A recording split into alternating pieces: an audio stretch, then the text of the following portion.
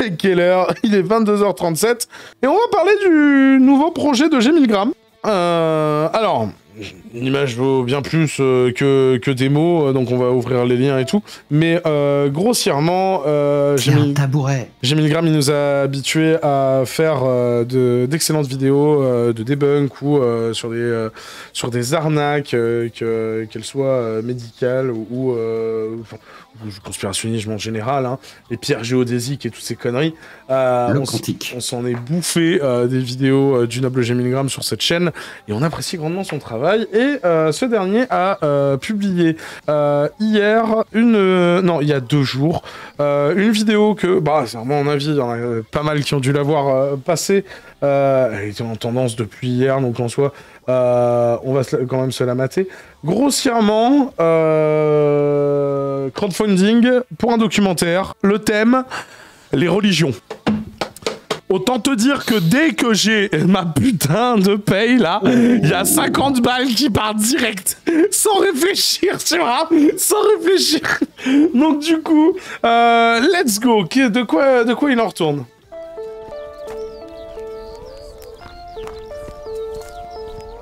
Il nous a baisé, il nous a baisé. Hein. Vous aussi, vous avez cru qu'on allait voir sa gueule? Bah non, on s'est fait baiser.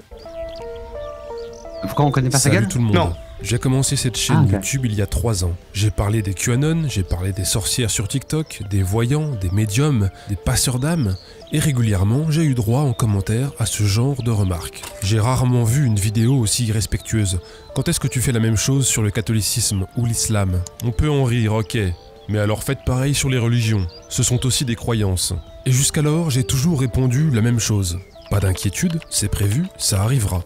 J'ai consacré une enquête fouillée en deux parties à la secte du Tachyon, une secte qui doit compter quelques milliers d'adeptes dans le monde à tout casser. Donc oui, pourquoi est-ce que je ne ferai pas de vidéo sur les sectes qui prospèrent depuis des siècles et qui comptent des millions et des millions d'adeptes? En termes moraux. Nosotros somos la referencia del modelo de familia. Nous sommes la référence dans le modèle familial. Nosotros somos la referencia de la historia. Nous sommes la référence dans l'histoire. Y no vamos a tener miedo. Et nous n'aurons pas peur. Nous n'aurons pas peur. Flippant. Mais bon, finalement, non. Je ne vais pas réaliser de vidéo YouTube sur les religions. Je vais plutôt faire un documentaire. Let's go Je prends, je prends, je prends, je prends. Sur ma chaîne, depuis le début, je m'intéresse aux croyances étranges et irrationnelles et aux dérives qui les accompagnent. Certaines de ces croyances touchent à l'alimentation, d'autres à la santé, d'autres encore prétendent dévoiler l'après-vie. Bon, les religions, elles, elles englobent souvent tout ça et même plus. Donc comment ne pas en parler? Depuis plusieurs années, le lama Sogyal Rinpoche, fondateur de ce temple et du réseau d'enseignement Rigpa, est accusé par d'anciens adeptes d'harcèlement moral, de violence physique et de viol. Bon, ça fait des mois que je veux faire une vidéo sur le sujet. Mais le truc, c'est qu'il y a mille choses à dire, mille angles intéressants, mille sujets dans le sujet. Et ce thème m'intéresse trop pour euh, en faire une vidéo YouTube de 20 minutes qui se contentera d'aborder un détail de cette question. Et il se trouve que depuis toujours, je rêve de réaliser un documentaire, de travailler sur un vrai gros truc, à la fois beau et pro sur la forme, et fouillé sur le fond.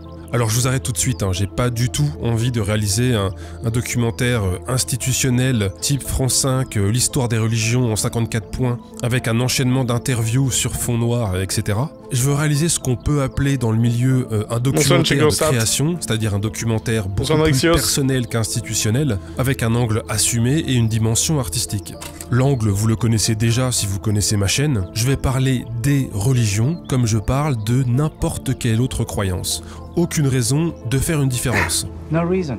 Les religions ont un discours. C'est couillu, sa mère, je le prends de ouf. Ah, C'est moi ou on a vu Gaïs? Oui, bien sûr. Il, Ah, il a fait une, il a fait une vidéo euh, en collaboration avec. Sur le Ah, réel, elles disent On l'avait vu euh, d'ailleurs sur la chaîne. choses, elles font Ah ouais. aussi Mais des oui, ça t'avait fait rire de voir Gaïs. Ah merde. choses. Pas. Elles ont des conséquences sur la réalité. Eh bien, on va se pencher sur tout ça. Personne, j'ai bien dit personne, ne pourra supporter l'enfer. Personne n'a la capacité d'imaginer ce qu'est l'enfer. Sa souffrance est permanente. La tristesse de ses habitants est énorme. Sa chaleur est intense. Son fond est lointain. Ses chaînes sont en fer. La nourriture de ses habitants sera ad-darir, des épines. Az-zakoum, c'est un fruit d'un arbre qui sort du fond de la fournaise. Leur boisson, comme l'a dit Allah, sera Al-Hamim. C'est une eau, une eau chaude qui jaillit d'une source bouillante. Très Mais du coup, si, mais du coup, si tu prends l'eau et que tu la... mais tu fais du thé, c'est quoi le problème Bien sûr. C'est, c'est- comme Si t'es mes pas vidéos trop con, YouTube, t'attends que ça refroidisse. Bah ouais, ce que j'allais dire, c'est quoi le, génie. c'est quoi le projet Le but de ce documentaire est d'être au moins un peu Bien sûr. intéressant, un peu utile, un peu divertissant et un peu drôle. Ça, ça va pas changer. Le but est par contre de faire tout ça, mais en mieux, en beaucoup mieux. Si mon projet aboutit, vous aurez donc un documentaire qui mélangera les genres, un peu comme mes vidéos YouTube. Il y aura de l'information pure et brute, mais aussi de l'enquête, du terrain, des témoignages, de l'humour et plein d'autres choses. J'ai vraiment envie de réaliser un ovni dans le monde du web documentaire, et pour Ok, alors maintenant on va mettre un, tout petit peu de chiffres et tout. Un, documentaire, ça, ça coûte minimum 500 000 balles. Donc on, va- on- on va dire que on, on- on- on va. Non, on- mais là, tu on- un documentaire attends, de la attends, télé. Attends, attends, oui, un documentaire de la télé, oui, bien sûr. Mais Voilà. euh, donc, euh, moi perso, je serais lui, je tape sur un 100 000. C'est- Je, je tape sur un 100 000. Ah, j'aurais ça, dit eh bien, 50. j'ai besoin Non, non, non, non, non, non, non, non. C'est, c'est, c'est le système des, c'est le système des, des cagnottes. Tu, dans tous les cas, tu demandes pas 100 000. Tu demandes, euh, je sais pas, moi, un truc, 15-20 000, tu vois, tu sais.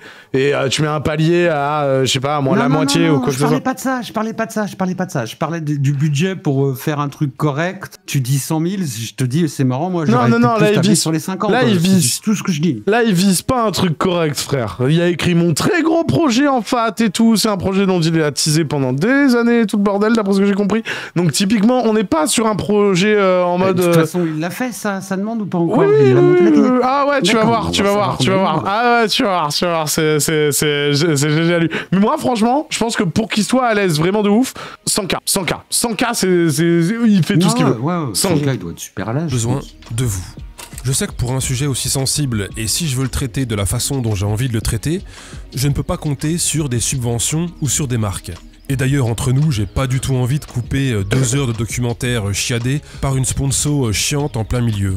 Donc, je lance mon premier crowdfunding sur KissKissBankBank. Très concrètement, en quelques mots, à quoi servira l'argent collecté? Bon alors déjà, il y a 28% de la somme collectée qui se volatilise Ouais, normal. instantanément en collecte de TVA et en commission KissKissBankBank. Ah, bye c'est bye, c'est TTC, 28%. euh, il y a une TVA Ensuite, ce qui sera Oui, oui, oui, oui, oui, oui, oui, oui, Ah, oui, ça, oui. je savais pas qu'il y avait probablement le plus gros poste de dépense, bah, ce sera le matériel. Pour tout vous dire, je filme actuellement et depuis toujours avec un Panasonic GH4 qui a 10 ans maintenant et qui est complètement dépassé pour faire le beau web documentaire que j'ai en tête. Donc il y a une grosse partie du budget, probablement 25%, soit 10 000 euros si on atteint le second palier, qui va partir dans de l'achat de matériel, de bonnes caméras, deux ou trois bons objectifs et un peu de matos son et lumière. L'autre gros poste de dépense qui sera peut-être aussi élevé que le précédent, euh, bah, ça va être les prestations externes. Je pense que je vais pour une fois me faire un peu aider sur certains Mais oui. tournages. Par exemple sur euh, certaines interviews,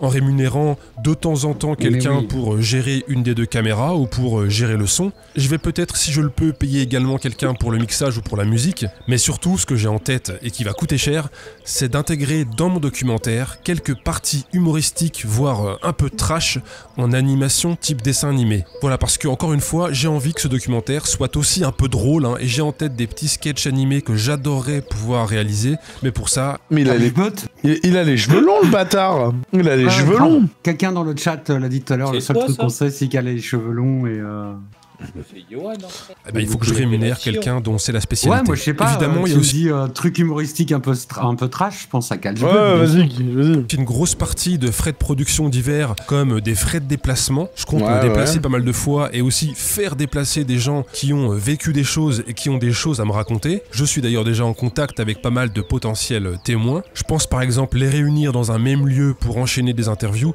et donc il faudra aussi sûrement Ouais, que je puisse payer la location de lieu de tournage. Et puis le dernier poste de dépense, ce sera pour la post-production, notamment pour que je puisse, moi, euh, lorsque j'aurai tourné tout ce que j'avais envie de tourner, et ben pour que je puisse, par exemple, me prendre un mois complet ou un mois et demi pour euh, réaliser le montage et me mettre dessus à 100%. Alors évidemment, je le précise tout de suite, je n'ai absolument pas l'intention de mettre ma chaîne YouTube en pause. hein. Le but là, c'est de réunir une somme qui me permettra de bosser sur ce très gros projet au fur et à mesure, petit à petit, mois après mois. J'aimerais pouvoir sortir ce documentaire dans un an, un an an et Ouais, demi ouais, fin, fin, Léviathan.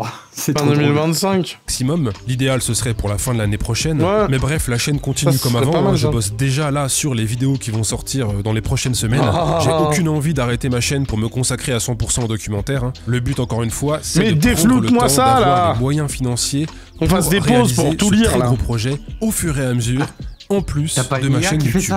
Alors j'ai fixé un premier objectif à 20 000 euros. Bon alors pour cette somme-là, je ne pourrais pas euh, réaliser le documentaire. Que Alors ça, euh, les copains, c'est comme ça qu'on fait quand on fait un crowdfunding, tu vois. Tu te dis, j'ai besoin de 40 à 100K, je vais demander 20K. Parce qu'en fait, si t'atteins pas le premier palier, en fait, on te donne pas les sous.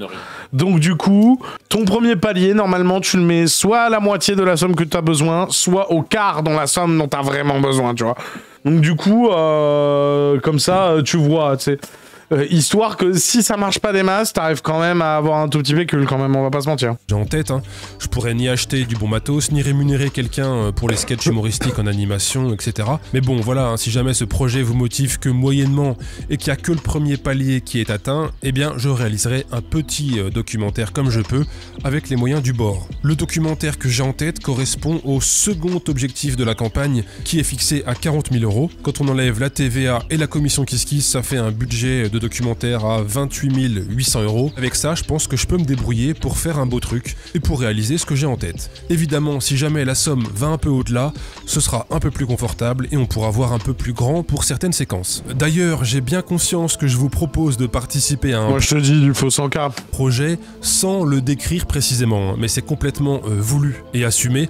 En fait, j'ai pas envie de spoiler le film. J'ai envie que ce soit une vraie découverte le jour de la diffusion, que vous soyez vraiment surpris et pas que vous connaissance à l'avance des 25 thématiques différentes et des 25 séquences euh, différentes du documentaire. Bref, je sais que certains d'entre vous ne seront pas spécialement euh, attirés, intéressés euh, par le projet et par le sujet. J'ai bien conscience que le caractère un peu touchy du documentaire peut refroidir certains abonnés, donc aucun souci, hein, ne participez évidemment que si ça vous intéresse. En tout cas, vraiment un très très gros merci à toutes celles et ceux qui financeront mon premier projet de documentaire. Je vous laisse d'ailleurs aller voir les petites contreparties que j'ai mis sur la page KissKiss. Donc énorme merci à vous, j'espère que ce projet vous emballera autant qu'il me motive. Avant de vous laisser cliquer sur le lien du projet en description, je voulais ajouter un dernier truc important. Si vous avez des suggestions à me faire concernant ce documentaire, ou si vous avez vécu des choses et que vous avez des choses à me raconter en lien avec ce sujet des religions, peu importe la religion, écrivez-moi à cette adresse gmail.com. Je pourrais pas répondre à tout le monde, mais je vais tout lire. Voilà, écoutez, n'hésitez pas à faire tourner cette vidéo et la page du projet ce qu'on aux fait. personnes qui pourraient être intéressées par tout ça. Je vous avoue que de mon côté, il y a un peu de pression. Je, je sais pas à quel point euh, mon projet va vous intéresser. En tout cas, je vous laisse cliquer sur le lien KissKiss et je vous dis à très vite pour la suite des aventures. Merci à tous. Donc du coup, il en est à combien? Papa, papa, papa, papa, papa. Donc du coup, il reste 48 jours, il y a déjà 3091 contributeurs, on en est à 127 193 balles. Donc là, 636 à, à, à 1000 balles près, euh, comme disait 28%, il restera 100 000. Si, euh, cool. voilà, si 636% en moins de 48 heures, comme disait Alfred, euh, ce qui est bien avec ce genre de financement, c'est que si tout est explosé le premier jour, ça peut faire les choux gras de la presse. Et on espère que ça fera les choux gras de la presse. Euh, du coup, voilà, donc du coup, les 5 paliers ont été éclatés. Euh, du coup, qu'est-ce qu'il y avait? Le minimum est assuré. Je ne pourrais, euh, je ne pourrais pas vraiment réaliser ce que j'ai en tête, mais je vais faire un petit docu avec les moyens du bord. Euh, on retire les 28% de TVA commission et c'est le budget que j'ai estimé pour que je puisse réaliser le documentaire que j'ai en tête. Je peux rémunérer les petites prestations externes sans trop stresser pour tenir euh, dans le budget et on peut envisager de voir quelques séquences en plus grand. Euh, je peux rémunérer correctement mon temps passé sur cette énorme aventure. Voilà qui ouvre des portes au niveau mise en scène. J'ai vraiment envie que ce docu soit euh, aussi beau, original et drôle. Ce budget débloque des possibilités niveau FX et mise en scène du propos. Je vais pouvoir m'amuser et vous aussi. Et l'objectif 5 pour l'instant qui vient d'être atteint, waouh, ça prend déjà une sacrée ampleur. Allez, si on se faisait une projection privée en avant-première dans une salle de cinéma sur Paris, vous serez, euh, vous serez invité, je réaliserai un tirage au sort parmi euh, les donateurs à 20 euros et plus. Et donc du coup, euh, là, il reste encore deux paliers. Bon, alors 40 jours. Oh. Alors, en plus, faut bien se rappeler que c'est fin du mois. Les gens n'ont pas encore eu leur paye. Les gens n'ont pas encore eu leur paye.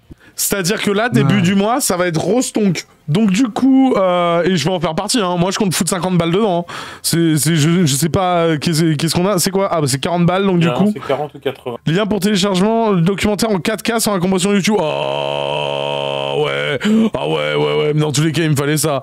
Dans tous les cas, vous aurez la version commentée du documentaire? Ah ouais, mais non, mais je vais pas la diffuser ça. Non, vas-y, on prend celle à 40 balles. On prend celle à 40 balles. Je peux pas diffuser un truc qui, qui met dans, dans, dans ce palier là. Euh, non, c'est bon.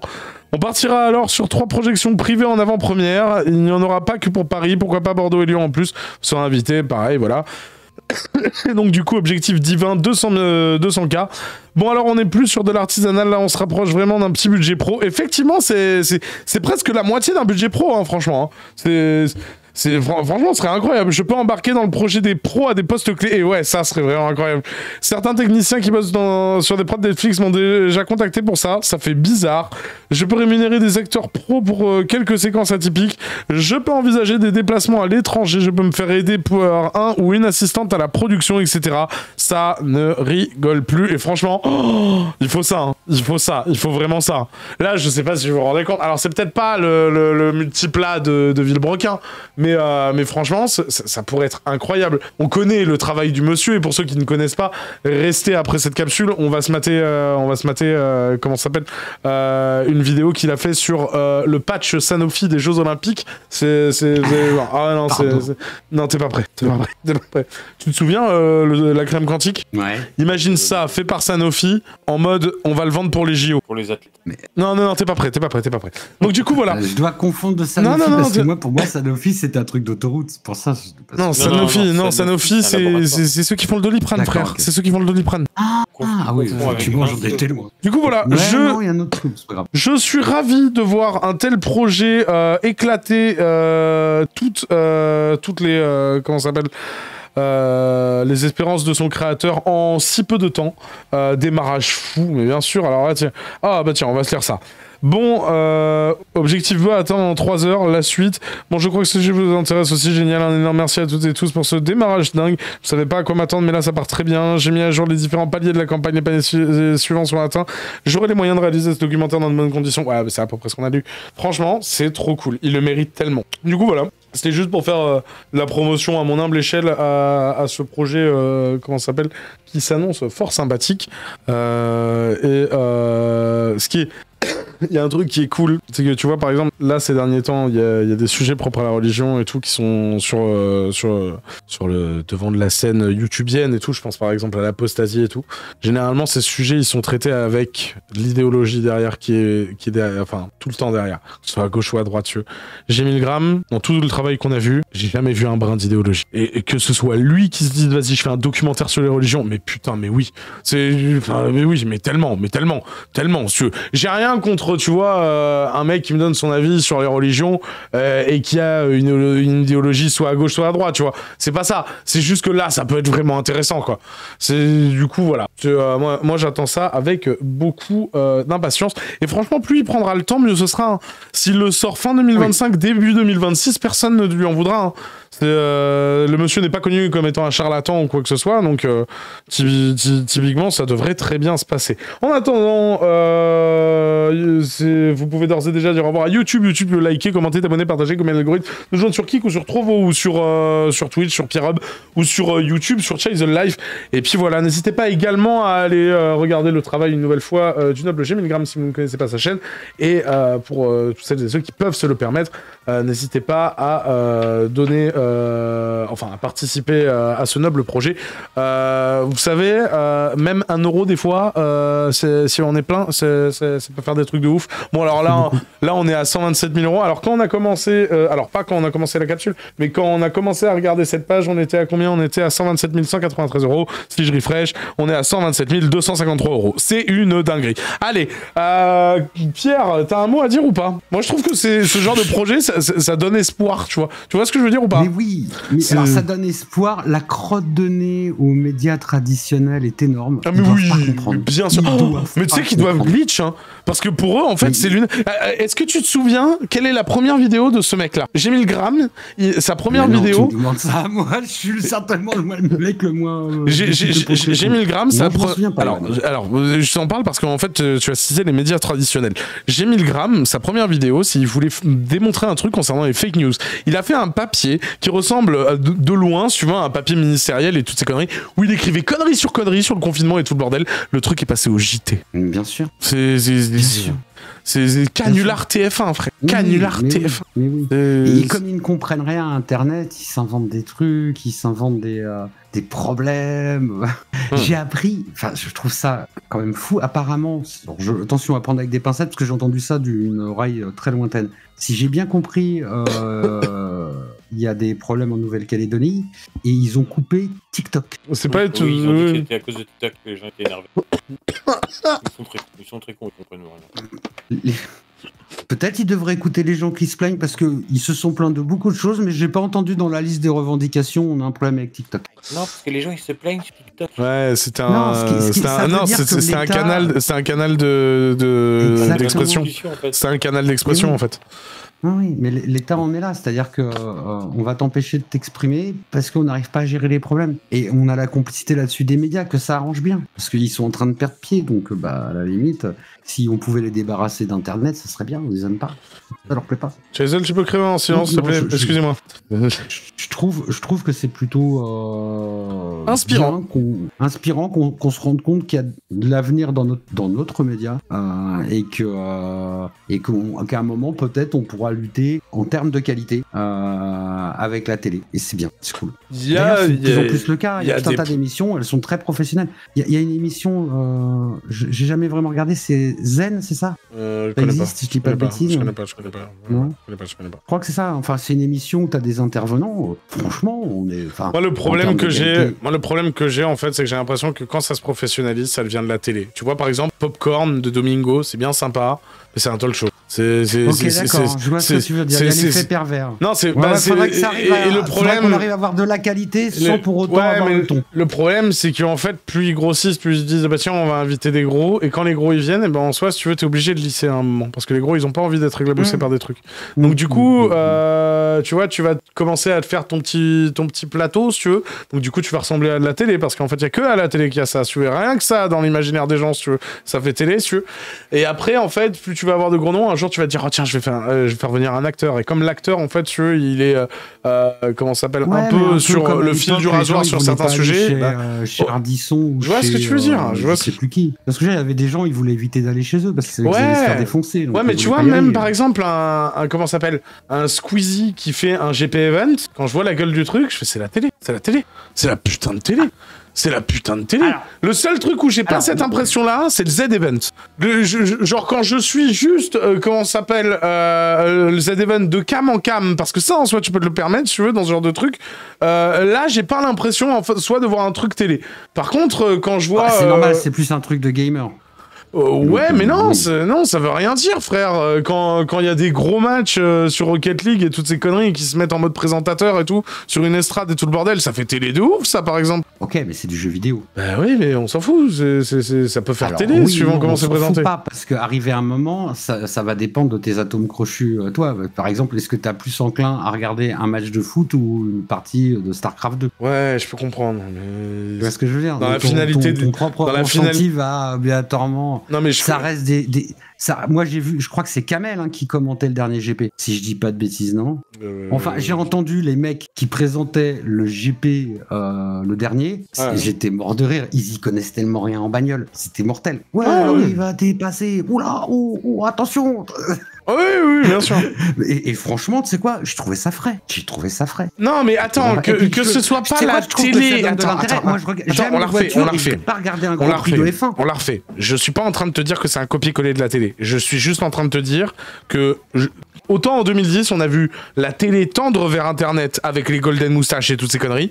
Là, quand je vois certaines de productions, certaines productions de gros streamers ou de gros youtubeurs, je me dis tiens c'est marrant, leur modèle vers lequel ils tendent c'est la télé. C'est juste ça. Je te dis De- pas de que c'est un copier. Je suis d'accord avec toi. Je te dis pas que c'est un copier-coller. Je suis d'accord avec toi. Sur GP, je suis ça. un peu moins d'accord avec Ah toi. si, je suis désolé, mais ça part le côté un peu plus euh, comment ça s'appelle T'as euh, regardé un Grand Prix de F1 une fois dans ta vie? Eh, non mais on est d'accord, il n'y a pas le côté foufinou hein, on- sur, sur, sur un, truc de F1 en soi, c'est très formel. de F1, je le regarde pas. Le, le GP, je vais le regarder. Non mais je suis d'accord, il y a encore la touche internet, mais on est quand même d'accord que quand tu le regardes visuellement, si tu veux, ça fait très production Mais télé. C'est quali de ouf. Mais ça, c'est bien. Ouais, mais c'est peut-être pas obligé de ressembler à la télé, genre dans tous ses codes. Là, le seul truc que t'es en train de me dire, c'est que quand il, euh, quand comment s'appelle, quand il y a une connerie, bah eux ils la filment au lieu de la mettre hors cam, et Non, les présentateurs ils sont un peu dire, plus funky que. Nelson Montfort. Non, non. Ça je Non, comprends. non, ce que je, non, non, ce que je suis en train de te dire, c'est une utopie. Ce que j'aimerais, c'est qu'on arrive à garder le ton léger et libre qu'on peut avoir sur Internet, tout en obtenant une qualité d'image ou de son plus proche du- de quelque chose de professionnel. Ouais, ouais, ouais. ouais. Moi, pour moi, le GP, ça réussit dans son sens où je regarde pas un Grand Prix de voiture parce que les mecs sont nuls. Enfin, je veux dire, il n'y a pas d'équipe, il n'y a pas d'écurie. Tu vois ce que je veux dire C'est pas, c'est pas, c'est pas un Grand Prix de Formule 1. Ça reste des streamers ou des youtubeurs qui tournent autour. Et c'est plutôt rigolo de savoir que, je sais pas, Étienne Moustache, il va arriver devant ou pas, je sais pas qui est arrivé le premier. Enfin, tu vois, est-ce que Étienne Moustache, il va arriver devant un Mixem? Comment on va le prendre à Mixem Tu vois, c'est voilà, un peu rigolo. Du coup, on a quand même la qualité professionnelle parce que franchement, c'est putain de bien filmé, c'est professionnel. Ah, mais cependant, ça reste léger, quoi. Ça fait télé.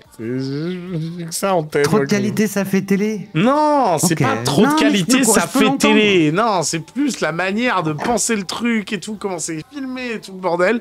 Ça fait télé, c'est tout. c'est pas, enfin, je, je- je suis désolé. C'est, ça fait tellement ouais, télé que les techos qui étaient là-dessus, si tu veux, c'est la plupart c'était des gars qui venaient de la télé.